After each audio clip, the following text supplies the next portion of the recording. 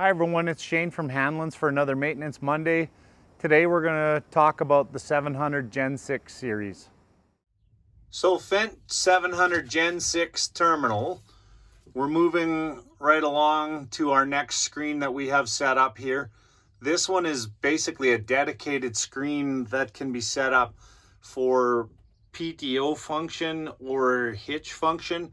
Uh, here we mostly have it set up for PTO so that you don't have to move to a second screen. Basically what you can do is you've got it on your main screen, you can touch your stationary operation and then pick whichever PTO speed that you want or to have it auto enabled and your hitch auto enabled without having to move away from your main screen. So uh, just makes it a little bit more convenient for you there.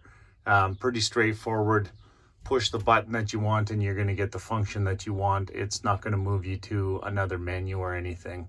Hopefully that helps you out. Thanks for watching.